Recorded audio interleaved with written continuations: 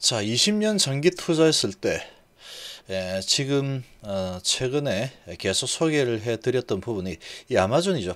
이 아마존이 한 어, 10만 퍼센트 정도 어, 수익률 냈죠. 10만 퍼센트. 자, 그런데 이 10만 퍼센트를 가볍게 뛰어넘어 버리는 그야말로 경이로운 수익률을 보인 그런 또 기업이 있습니다.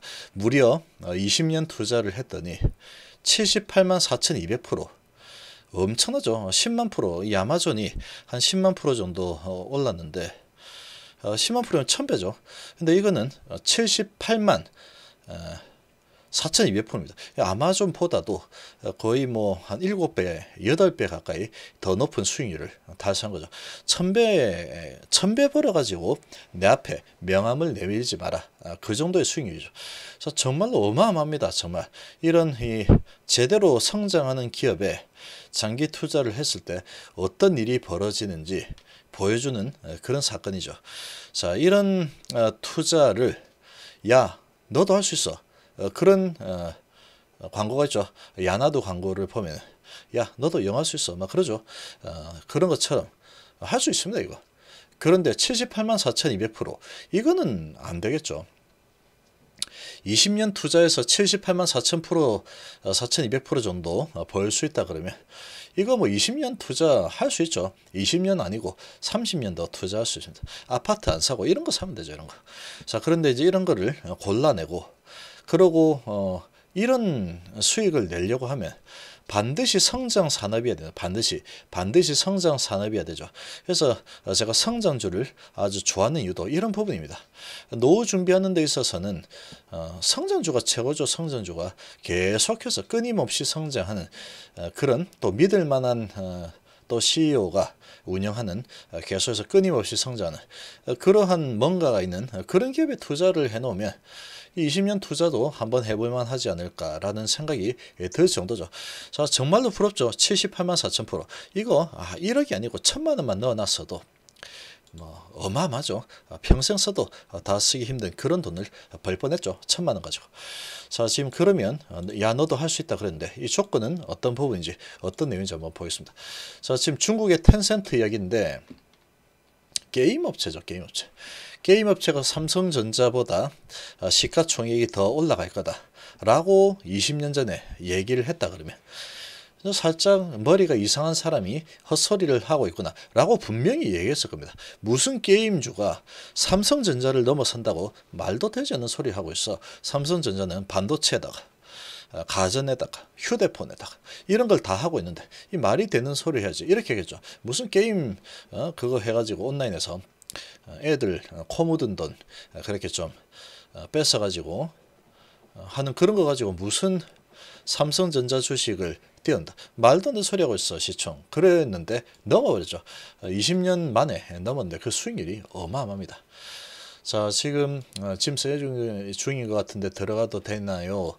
뭐 그런 부분이 있어요. 이게 이제 텐센트 이야기인데 최근에 텐센트죠.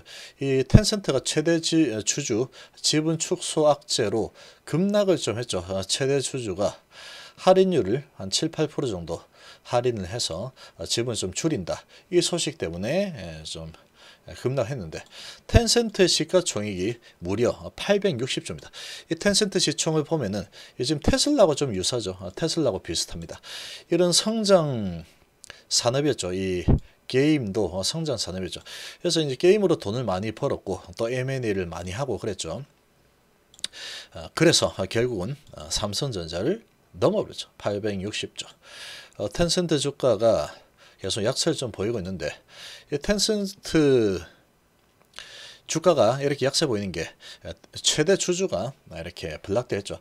블락딜을 했는데 이 내용을 좀 보니까 자, 지금 텐센트 최대 주주의 지분 축소 이벤트가 단기적으로는 악재지만 최대 주주의 보유 기간과 수익률을 따져보면은 충분히 팔 자격이 있다라고 얘기하죠.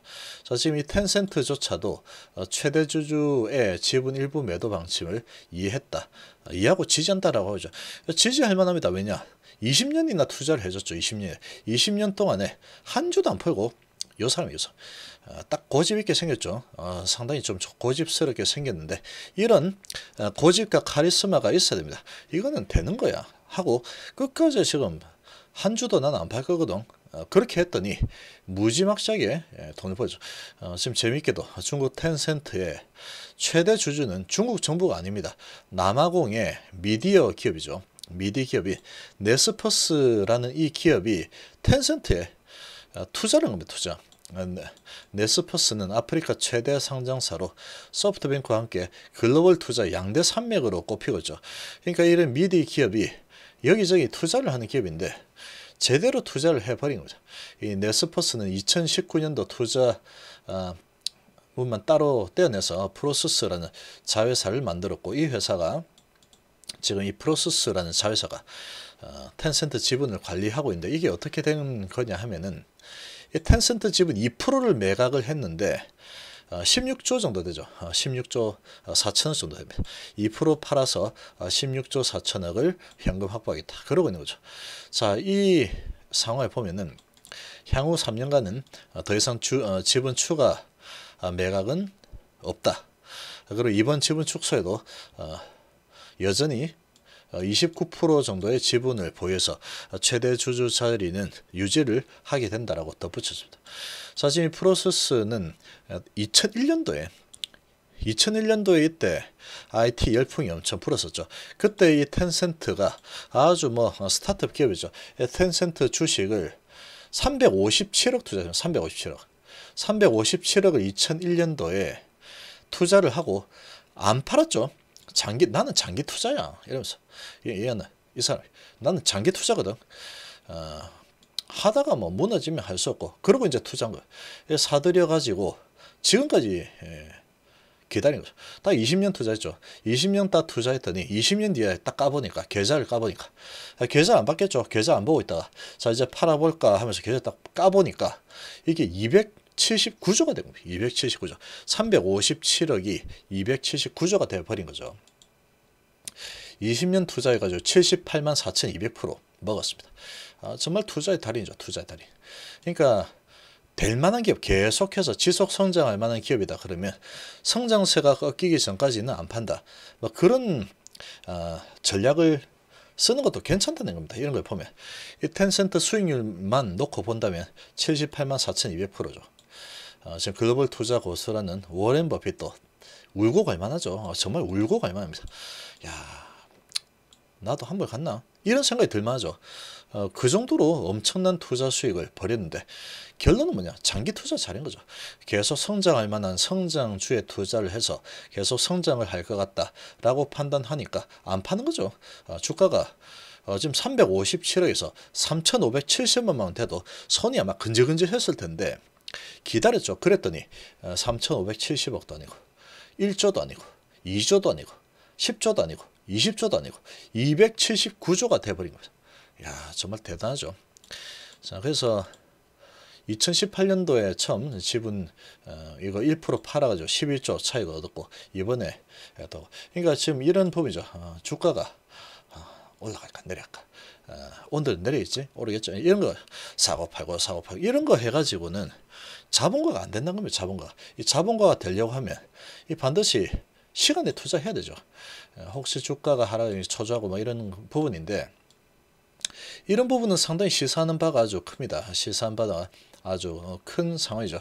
그래서 지금 뭐 어, 이렇게 올라간 부분을 보면 2001년도에 어, 이, 이 네스퍼스가 2001년도 텐센트에 투자했죠.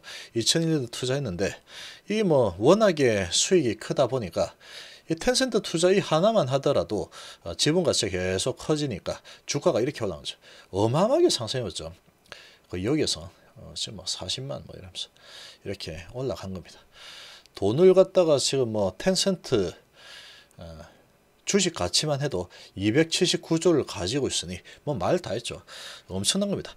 정말로 357억 가지고 279조를 만든 사나이가 이 사람이죠. 투자고 어, 정말로 집요하게 예, 깔고 앉아 있었죠. 이 깔고 앉아 있었는데 지금 뭐 어, 그렇게 할 만한 어, 기업이다 라고 하면은 이렇게 투자를 하면은 정말로 자본가가 아, 좀될 수도 있는 거죠. 그래서 그렇게 될 만한 기업이 어떤 거냐? 아, 그걸 이제 찾아봐야 거예요. 그걸 찾아봤을 때 셀테는 충분히 예, 그런 투자를 할 만한 기업이 아닐까라고 어, 좀 생각이 됩니다. 제가 보기엔 어, 제가 보기에는 충분히 예, 그렇게 생각을 할 만하다. 투자할 만하다. 지금 뭐 워낙에 일을 잘하고 있죠. 납기 한다 그러면 다 지켜버리고 어, 그리고 신약도 이제 개발하고 그리고 어, 계속해서 지속 성장하고 뭐 그런 어, 기업이죠. 그러니까 이 꼭 셀트런이 아니라고 하더라도 그런 부분이 이 뭔가 믿을 만한 부분이 있다 그러면 계속 성장하는 산업이다. 그리고 거기에서 경쟁력이 있다. 그러면 한번 투자를 이렇게 해 보는 것도 나쁘지 않다는 겁니다. 예, 그러면 아마존 같은 경우에 10만 프로, 텐센트는 70 70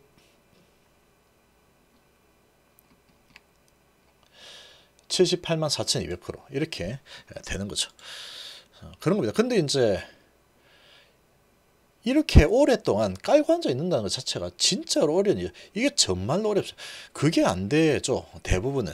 대부분은 그게 안 됩니다. 어, 좀 내려가서 버티는 건 잘하는데 올라가서 버티는 게 그게 어렵습니다. 손이 근질근질하죠. 손이 근질근질합니다. 그리고 한번 소, 손실 받다가 다시 올라가면 본전이 오니까 어, 감격이 눈물이 막 흘러버리죠.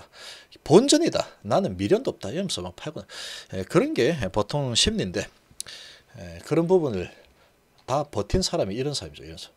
에, 그랬더니 억대가 조, 어, 조 단위가 바뀌어버리죠. 375억이 279억. 9조. 그렇게 된 겁니다.